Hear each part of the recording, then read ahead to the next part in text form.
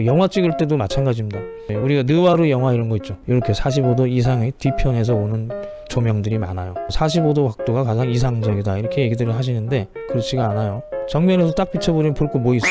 비슷한 얘기예요. 여기서 왔다 갔다 해봤자 그림자 조금 있는 거 빼고 뭐 볼 게 없죠. 정측면이나 반측광에서 오게 하는 것이 이색적으로 그리고 뭔가 감성이 자극되게 할 수 있는 방법인 거예요. 안녕하세요. 오늘은 그림자 그리는 법을 가르쳐 드릴게요. 오늘 그림자 그리는 법이라는 거는 그늘 여기에 그림자가 포함되잖아요. 그 중에서 그림자를 그릴 때 생각보다 까다로운 게 많아요. 그래서 오늘 하루 시간을 써서 그 그림자 그리는 방법을 가르쳐 드릴 겁니다. 음, 앞에 화면들을 보면 여러 가지 도형들이 있죠. 그 도형마다 숫자를 매겨놨어요. 그래서 제가 숫자를 일러드리면 그 숫자에 해당되는 사진을 보시면 돼요. 자, 일단 그림자를 그리려면 역시 빛의 성질을 다시 한번 정리를 해봐야 될 텐데요. 빛의 위치를 좀 잘 정해보죠. 예, 빛의 위치를 어떻게 봐야 되는가 하면은 1, 2, 3번을 한번 보면서 제가 간단하게 설명을 드릴게요. 요 1번 한번 보면은 1번은 그림자가 좀 짧게 있죠. 빛의 위치를 정할 때 네, 이게 빛이라고 생각을 해요. 그럼 빛이 어, 높이를 먼저 정해줘야 돼요. 빛의 높이가 얼마나 높냐, 높은 데서 내려오냐, 밑에서 오냐, 위에서 오냐, 밑에서 오냐에 따라서 그림자의 길이가 달라진단 말이에요. 그래서 여기 보면은 그런 걸 설명하고 있는 거고요. 뭐 요 2번, 3번을 보면 빛의 방향이 앞이냐, 뒤냐가 있겠죠. 그거에 대한 얘기예요. 순서대로 확대를 해서 하나씩 설명을 드려볼게요. 자, 일단 빛의 높이를 정해봐야 되는데요. 자, 높이를 어떻게 그 볼 수 있냐면 여기 이 형태에서 윗부분 있죠? 요 모서리. 여기하고 요 그림자 끝. 요게 빛의 각도가 되는 거예요 높이. 그러니까 이 빛은 여기에서 이렇게 온다는 소리죠? 좀 더 낮게 오면 이렇게 길어지겠죠? 그러면서 그림자가 이쪽으로 더 길어지겠죠? 이렇게. 자, 이게 빛의 높이가 되는 거예요. 자 그럼 빛의 방향을 한번 정해봐야 되겠죠? 어, 아까 요거랑 같이 비교해 볼까요 요거는 왼쪽에서 바로 정측면에서 빛이 오는 거예요. 그러니까 그림자의 방향이 어떻게 돼 있어요? 여기 이렇게 돼 있죠. 이렇게 수평으로. 그러니까 바로 옆에서 오는 거다. 이렇게 이해하시면 되고 길이는 빛의 각도에 따라서 이 정도의 길이가 됐어요. 이 정도. 자 오른쪽 거하고 왼쪽 거 1번, 2번을 비교해 보면 2번 그림자 일단 길죠. 어, 빛의 높이가 더 낮은 곳에서 온다는 소리예요. 예상을 해보면 빛이 아마 여기까지 이렇게 올 수 있지 않을까. 음, 그러면 자, 요 모서리 요 위에 원판에서 중심점을 찾으시고 거기에서 이 빛의 각에 따라서 방향에 따라서 그 방향대로 가고 그 모서리하고 요 끝에가 이렇게 된다. 어, 세세하게 따져보자면 이런 거고요. 복잡하죠. 간단하게 보면 그냥 이 끝에 꼭지점에서 요 끝에까지 예, 각을 적당히 생각하시면 돼요. 자, 빛의 방향을 봐야 된다 그랬죠. 요 그림에서는 방향이 이렇게 위에서 본다고 하면 정측면이 여기고 조금 앞쪽으로 와서 이렇게 오고 있는 거예요. 그래서 빛 방향이 이렇게 수평에서부터 이만큼 각이 기울어져 있죠. 자, 이런 것들을 참고해서 그림자를 그려 나가는 거예요. 자, 일단 이 형태를 한번 더 살펴보고 그 다음에 여기에서부터 세, 정확하게 어떻게 그림자가 형성이 되는 건지 다시 한번 설명을 드릴게요. 이거 형태를 한번 보면 요 위에 원판 있고 아래 원판 있겠죠. 아래 원판 상상해 보면 이렇게 예상할 수가 있어요. 위에보다 아래에 있는 원이 더 동그랗다. 그 다음에 좀 작다. 그리고 이어짐이 형태가 되잖아요. 이렇게. 그랬을 때 빛 방향이 여기서 이렇게 오니까 자 여기 원이 있잖아요. 이 원이, 원에서부터 이 방향으로 가는 선을 쫙 그어주시고 그럼 여기 접점이 딱 하나가 나와요. 그 부분이 이 어둠이 되는 위치가 되기도 하고 그렇죠? 여기가 어둠이에요. 그리고서 빛의 방향, 그림자의 방향은 이렇게 가는 거다. 그랬을 때 이 뒤에 부분을 예상하셔야 돼요. 여기에서부터 어, 중심점을 지나서 저 뒤편에 여기 점이 또 있는 겁니다. 걔하고 얘하고 나란하게 이렇게 가면 된다. 자, 지금 여기 빛을 보면 뒤로 가면서 좀 넓어지잖아요. 여기보다 이거 넓어지죠 점점.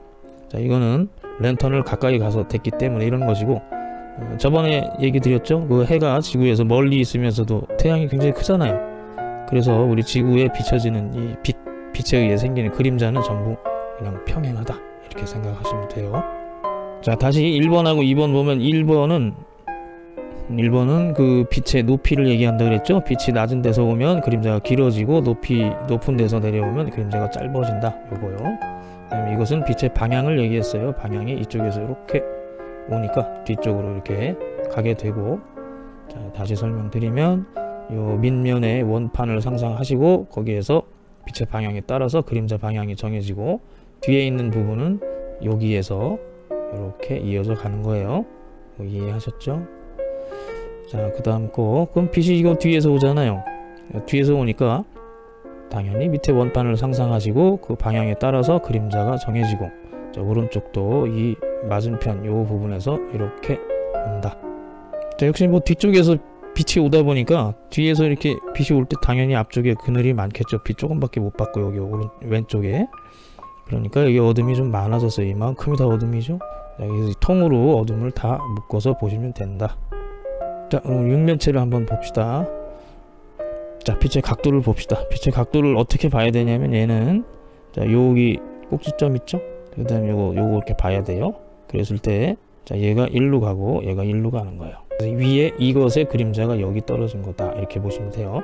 그 빛의 각도가 더 높은 데서 오면 어떻게 될까요? 더 짧아지겠죠.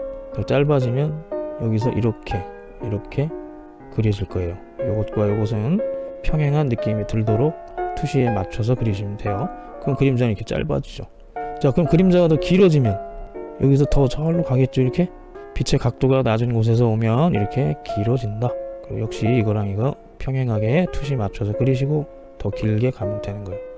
자, 여기에서 이 뒷부분이 좀 헷갈릴 수 있어요. 이거 좀 잘 들어보세요.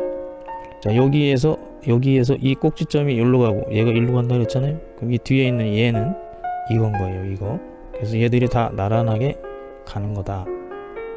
자, 빛이 이제 앞쪽에서 뒤로 가는 거죠. 역시 방향이 이만큼 기울어져서 가고 있어요. 자, 여기에서도 이렇게 밑면이 있겠죠. 밑면에서 이 앞이 이렇게 가고, 자, 이 뒤 그림자는 여기에서 이렇게 가는 거예요. 자, 다시 보면 앞에 그림자가 이렇게 가고 뒤에 그림자는 요 가려진 꼭지점 거기에서 이렇게 가는 거다. 자, 그럼 여기하고 여기가 얘로 가는 거예요. 얘로 가고 얘로 가고. 그래서 이렇게 이렇게 이어지니까 결국 그림자 모양이 이렇게 나오는 거예요. 이렇게.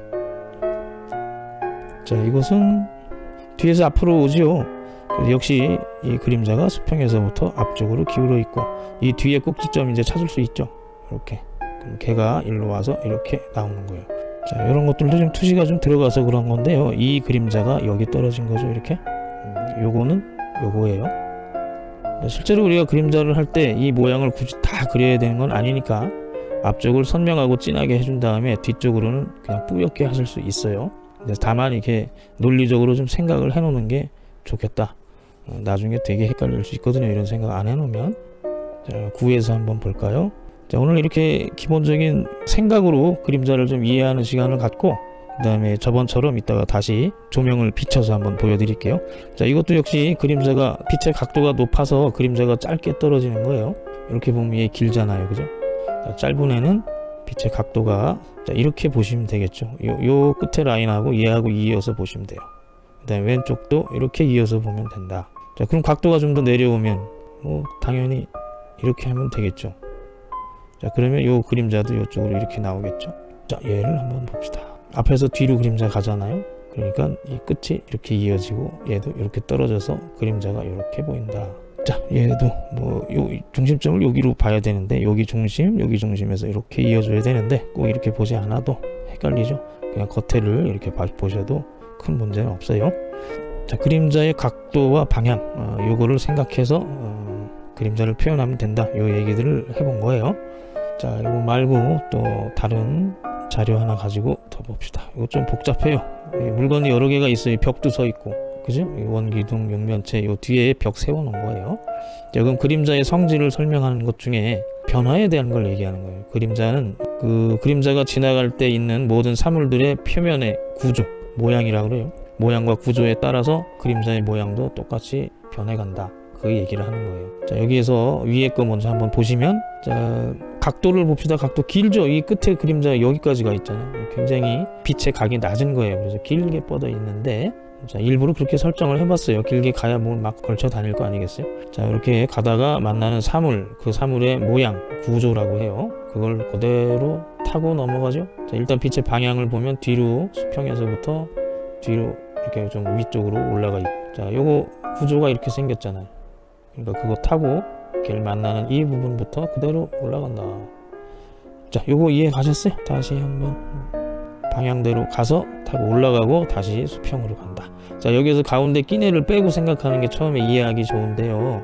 그냥 보면 여기하고 여기 이어져 있죠, 이렇게. 그냥 쭉 가는 거예요. 가는 거고 여기도 그냥 쭉 가는 건데 뒤에서 벽을 만나니까 벽의 기울기만큼 올라가 있고 자, 이것의 기울기가 사선으로 돼 있으니까 바닥도 사선이고 그래서 요 그림자 위도 이렇게 기울어 있다. 요게 다 통일이 돼야 된다는 거예요. 자, 얘는 조금 더 기울여 놨죠. 틀어 놨어요. 자, 그랬을 때, 어, 요 중간에 걸려 있는 이 사물 때문에 그림자의 모양이 이렇게 꺾여서 간다. 이 뒤에 있는 얘는 뭘까요? 이건 얘 그림자죠. 얘. 워낙에 밑에 쪽에서 그 빛이 오니까 얘 그림자도 길게 드리워져 있는 거고 이 부분이 바로 이제 요 기울기라고 그랬죠. 이것만 다시 설명드릴까요? 자, 요렇게 가요. 그랬을 때 여기 꼭지점이 이렇게 두 개가 있어요. 이것은 어디라고? 여기. 이게 여기까지 가서 비쳐 있는 거예요, 바닥에. 이렇게 이해를 하시면 되겠습니다. 이게 많이 해보다 보면 습관이 좀 붙어요. 언제 이렇게 하나씩 다 따져서 하겠습니까? 예. 근데 처음에는 이런 생각을 가지고 이해하려는 노력을 자꾸 해야 헷갈리지 않고 이런 기울기들을 요 기울기 얘기하다 끊겼어요. 요, 요 기울기 이렇게 통일할 줄 아는 것. 자, 밑에 것도 볼까요? 자, 이거는 뭐구 잘라놓은 거예요. 구 잘라놓은 거. 그림자 가다 말고 구를 구의 모양 구조를 타고 이렇게 돌아가죠. 네, 여기에서 여러분 명암의 변화를 좀 살펴보는 게 좋은데 이 구에서 이 빛이 이쪽에서 오니까 구에서의 명암의 변화를 보면 당연히 이렇게 밝고 어두운 게 나뉘죠. 요렇게 요렇게. 그리고 뒤쪽은 이게 일로 돌아가면서 그늘이 생기잖아요. 그래서 이 그림자와 그늘이 같이 만나는 부분, 요 부분이 실제로 그림 그릴 때 잘 처리해야 되는 부분이에요. 그 다음에 이 사진에서 특징적인 것은 요거 한번 보시라고 내가 설정을 해 놓은 건데 얘가 앞에서 팍 막고 있잖아요. 뒤쪽으로 그림자가 이쪽이 다 그늘 아니겠어요, 그늘. 그래서 그늘 속에 들어가 있는 얘 보세요. 굉장히 어둡잖아요. 그늘 속에 들어간 애들은 전부 어두워야 한다. 그 안에서 약간의 반사광도 있지만 이런 것들은 이제 반사광의 영역에서 섬세한 변화로 처리를 해야 되는 것이고요. 함부로 여기를 얘처럼 밝게 해버리면 안 된다. 그늘 속에 들어가는 것은 확실히 그늘이어야 한다. 밝은 면이 없다는 거예요. 음, 두 개의 특징 보면은 이 바닥에 드리워져 있는 그림자의 톤보다 여기 물건에 떨어져 있는 어둡기가 좀 더 진해요. 그죠? 그거 이제 뭐 반사광의 영역이기도 하고 그 다음에 종이가 바닥이 하얗잖아요 하얀 면에 그림자가 드리워지니까 그렇게 시커머지 않다 이렇게 볼 수 있는 거예요 자 그림자는 사물의 겉표면 구조 모양을 타고 모양이 변해간다 그 다음에 그늘 속에 들어가 있는 것은 충분히 어둡게 유지가 돼야 된다 함부로 밝은 것을 표현하면 안 되겠다 자, 오늘은 바로 저번처럼 조명 설정하고 비춰보는 거 하고 마무리를 할게요 자 그럼 우리가 1번부터 한번 어, 만들어 가 봅시다 자, 바로 조명을 켜보겠습니다. 어, 화면에 막 줄이 가죠. 줄 좀 없애고 오겠습니다. 실시간이라는 게 항상 뭐 문제가 있어요. 음. 자, 빛의 각도 보죠. 자, 1번하고 맞춰보는 거예요. 지금 길죠? 이렇게 올라가면 짧아지겠죠. 뭐 이렇게 점점 점점 올라가면 그림자가 짧아지죠. 이 성질을 이용해야 돼요. 여러분들. 지난 시간에도 한번 얘기 드렸었죠. 빛의 각도에 따라서 그림자의 길이가 달라진다. 자, 해가 질 때 당연히 이렇게 해가 내려가면서 길어지잖아요. 점점. 해가 중천에 뜨면 요즘 같을 때 되게 덥죠. 이 그림자를 짧게 그리면 그만큼 날씨도 좀 덥게 보인다. 음, 네, 빛 방향 있죠? 앞에서 오면 뒤쪽으로 자 이렇게 하면 좀 더 부드럽게 보이죠 자 당연히 뭐 빛의 방향에 따라서 그림자가 방향이 달라진다는 거 음, 여기 한번 볼까요? 요 만나는 부분 여기가 어둠의 시작이기도 한 거예요 여기 부분이 자 거기에서 그림자가 시작된다 이렇게 자, 이쪽으로 돌아오면 어둠의 위치가 여기로 바뀌죠? 가운데로? 그럼 거기에서 시작되는 거예요. 그 만나는 점 시작되는 점을 잘 찾으셔야 돼요. 자 앞으로 많이 오면 당연히 저 뒤에서 이렇게 가는 거예요. 자 그 다음에 빛과 그림자의 성질을 볼 때 들려나 모르겠는데. 좀 이따 이제 촛불로 한번 보여드려볼까? 요 양초가 있어요. 이번에 티가 좀 나죠? 이 양초가 좀 약하잖아요 빛이? 그래서 이 부분이 좀 선명하고 진해 보이죠? 뒤에는 뿌옇게 퍼지면서 흐려지잖아요. 네, 이것이 빛의 기본 성질이 돼요. 가까이 다가갈수록 더 선명하고 진해지네요.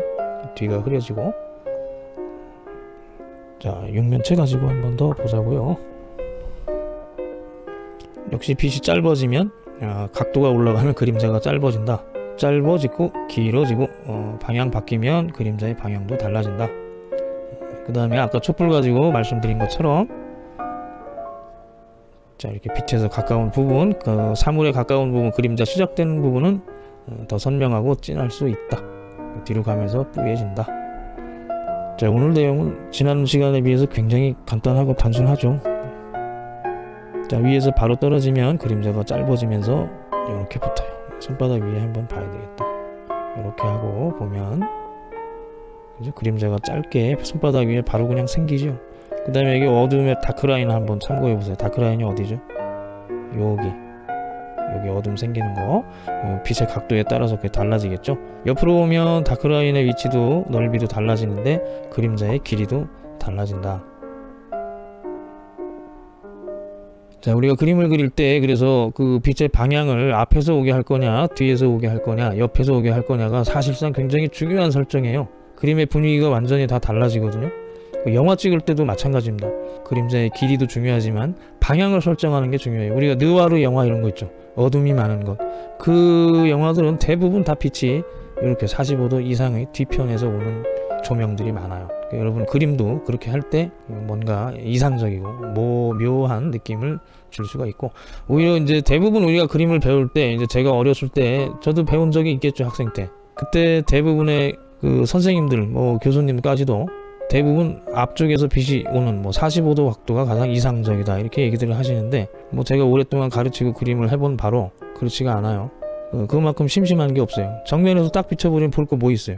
이거하고 비슷한 얘기예요. 여기서 왔다 갔다 해봤자 그림자 조금 있는 거 빼고 뭐 볼 게 없죠. 이 안에 내용이 보이는 게 아무것도 없다는 거예요. 그래서 빛의 방향을 어, 평소에 우리가 자주 접하지 않는 정측면이나 어, 뒤에 반칙광에서 오게 하는 것이 훨씬 더 그림을 이색적으로 그리고 뭔가 감성이 자극되게 할 수 있는 방법인 거예요. 어, 우리가 해질녘에 퇴근길 퇴근하다 보면 그 도로 위로 해가 질 때가 많죠. 그럴 때가 우리 걸어 다니다 보면 굉장히 서정적이거든. 네, 하다못해 횡단보도 건널 때도 해지고 있을 때 사람들이 양쪽에서 서로 건너오는데 해가 여기서 진단 말이야 이렇게. 이거 해라고 할까요?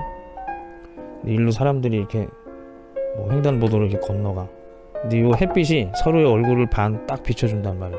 그럼 나에게 다가오고 있는 사람 얼굴이 이렇게 한쪽이 밝게 빛나요.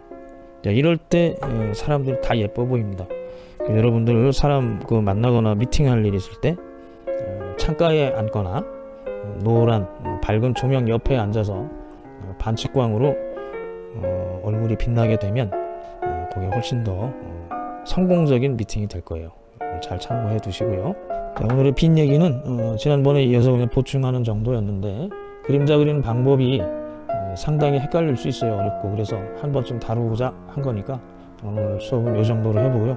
다음 시간에는 이제 정물 가지고 실제로 형태 스케치도 하고 그 스케치의 명암과 그림자를 포함해서 어떻게 표현해 줄 건가 그 예제를 직접 보여드릴게요. 여러분 안녕히들 계시고요. 다음 주에 뵐게요.